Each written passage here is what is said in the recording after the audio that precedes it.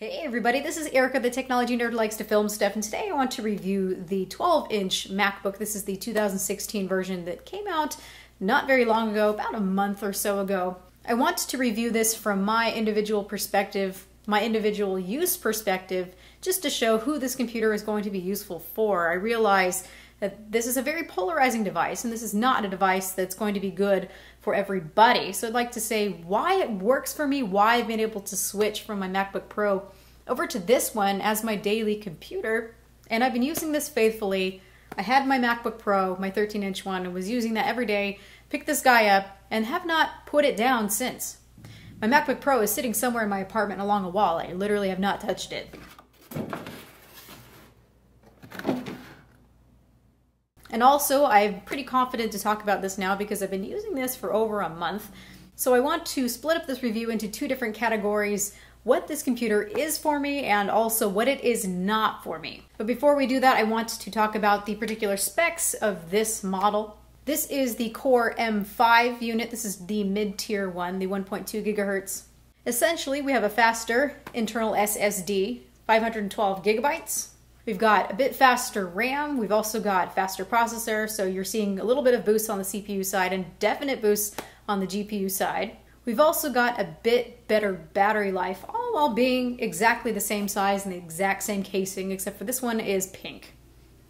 So I had this computer last year and I actually really liked it because of the size, but I just didn't feel comfortable enough to use it as a daily computer. Whether I felt that there were little hiccups here and there, or just slightly not powerful enough, I am confident enough, oddly, to use this every day as my main computer, and we will get into those use case scenarios. So let's start off with what it is for me, or the good points for me.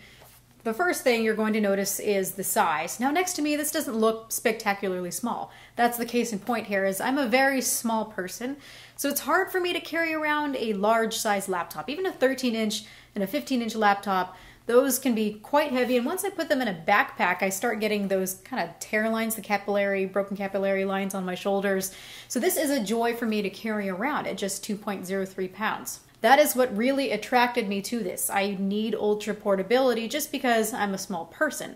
I could see other people liking ultra portability because you can easily shove it in a bag.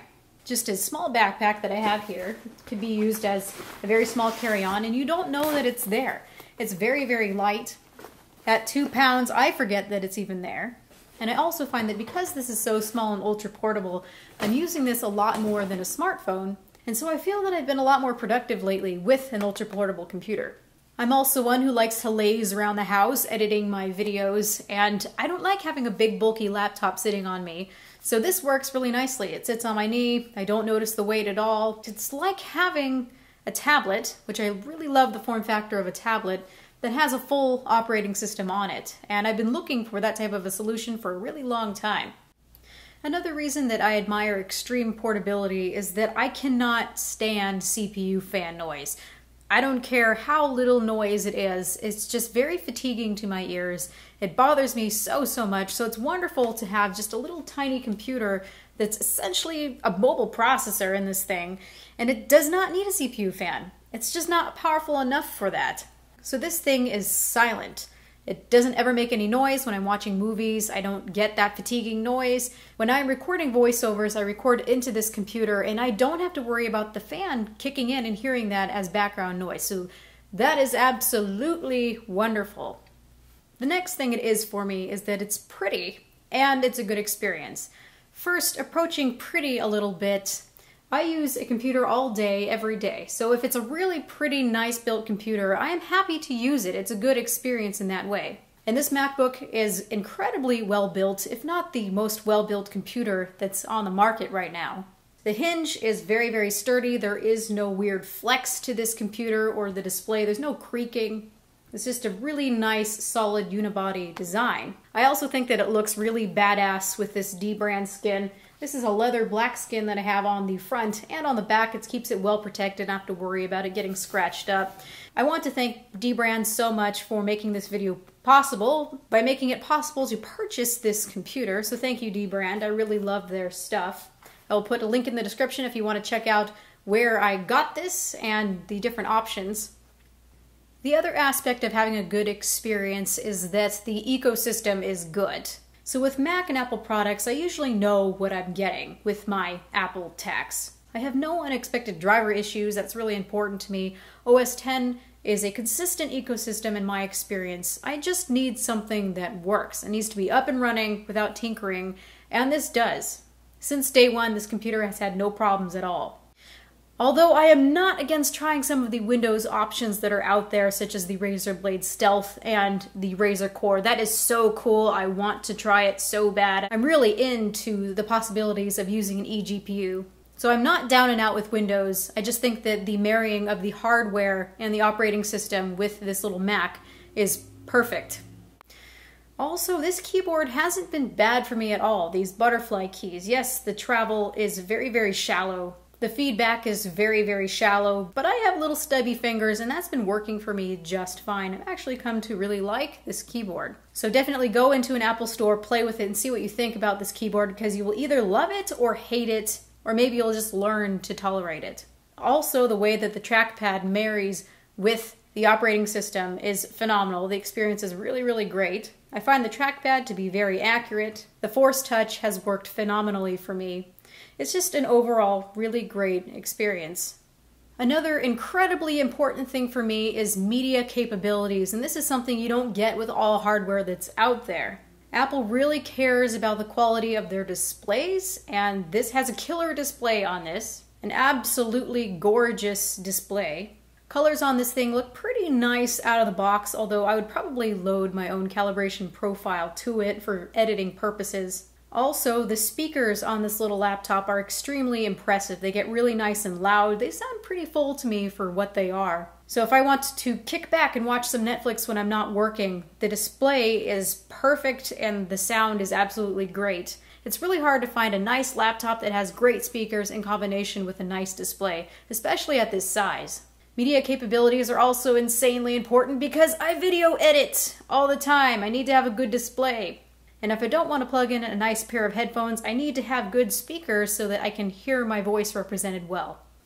Now moving on to performance capabilities, let me say this. Obviously, this is nowhere near the most powerful computer on the market, but I don't currently need the most powerful computer.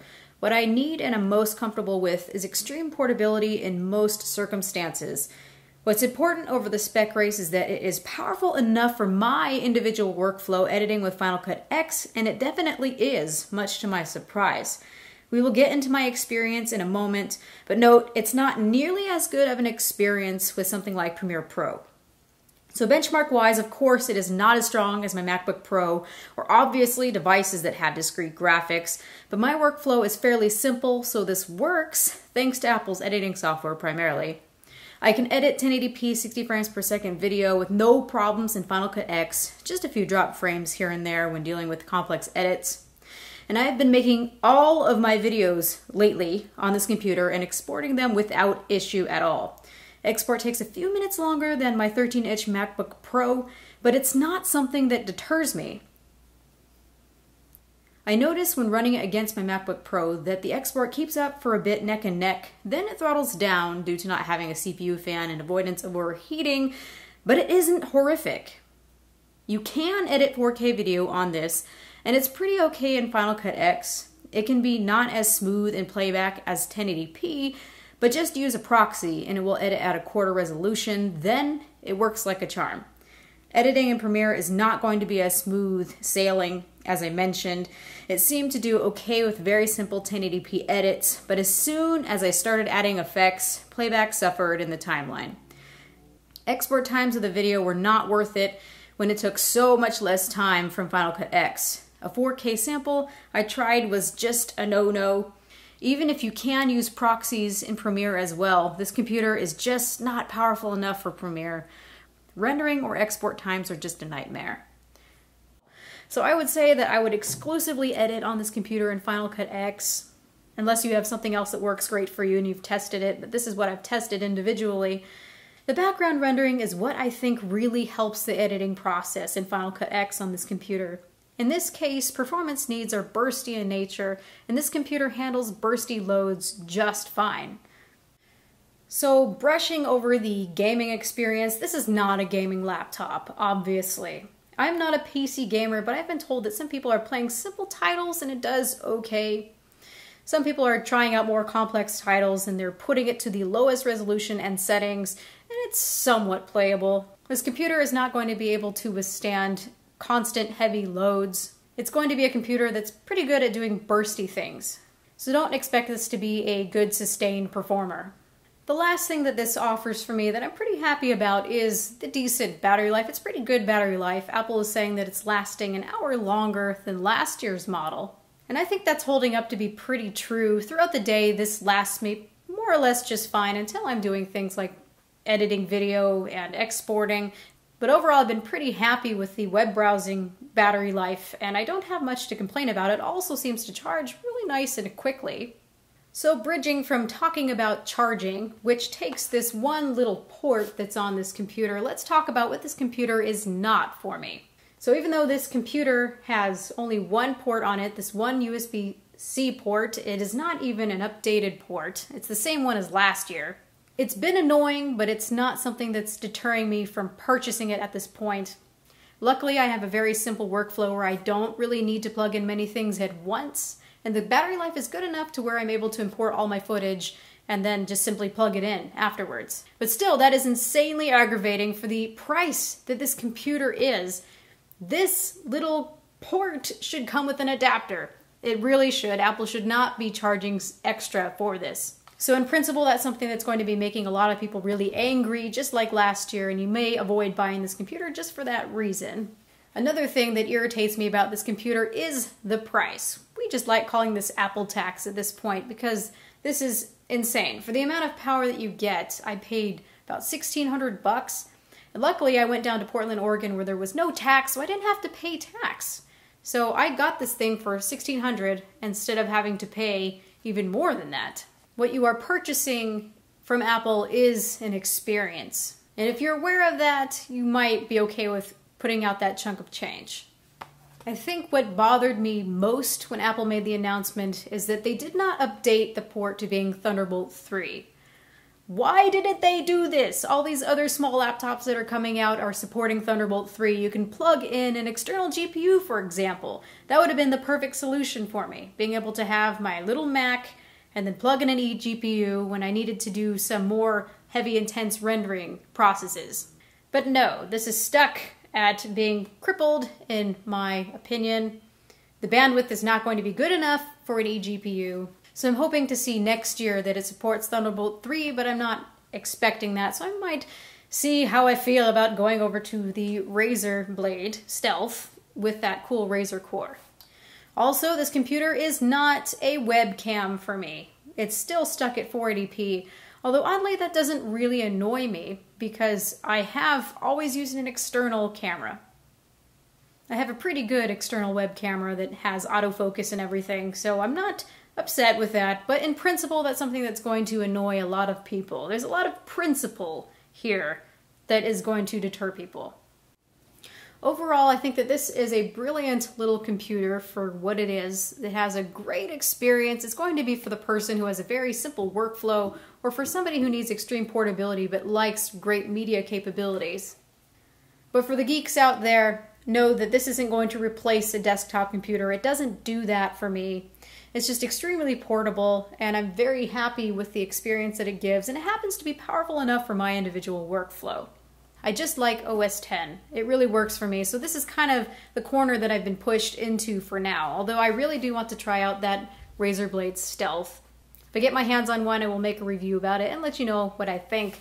So this has been Erica, the technology nerd likes to film stuff. Please rate, comment, and subscribe. Let me know what you think about this little MacBook. It's very polarizing. You're either going to love it or you're going to hate it. And I happen to love it because it works for my workflow and just happens to fit a lot of things that I need in particular. So let me know what you think, and goodbye.